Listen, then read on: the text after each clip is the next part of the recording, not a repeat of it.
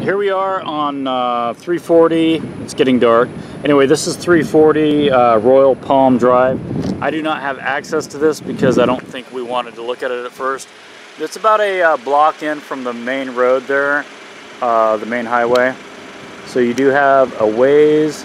It is right across the street from the graveyard.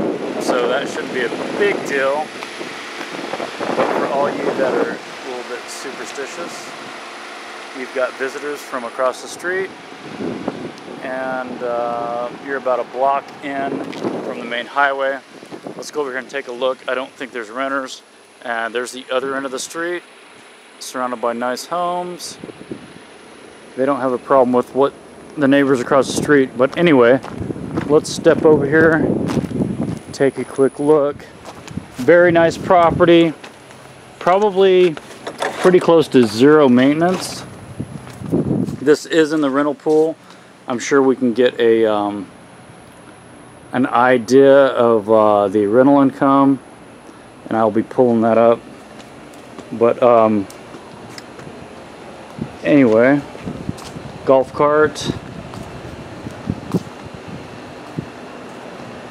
Um, it looks like this is a concrete block bonus new air conditioning definitely a nice unit this is uh, two nice units. So you got a rental in the back and you have a rental at the front. I would probably jackhammer that all out and put a nice small swimming pool that would make this property over the top. Anyway, sorry cannot get in there. Brian, Jen, I'll show you this when you guys get down here. But um, nice property, fully fenced. And uh, yeah, totally fenced, nice and private.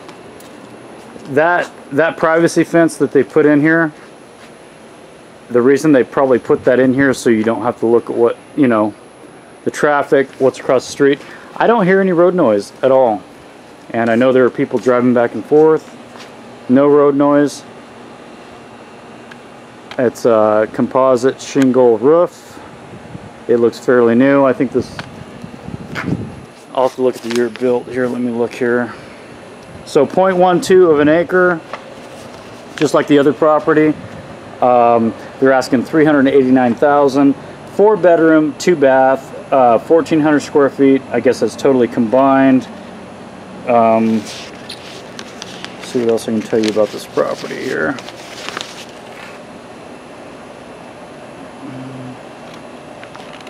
Anyway, I'll have to show you this when we you, you all come down.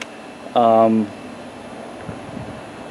but um, anyway, it's a uh, main house is three bedroom, and um, the other one is a one bedroom. I'm guessing that is the main house back there, one bedroom up front. So yeah, I could see this property, eh, maybe getting um, what 340 a night back there, 220 a night up here. Anyway, cool property. Look forward to showing this to y'all. 389, pretty good deal. Nice, nice uh, newer construction.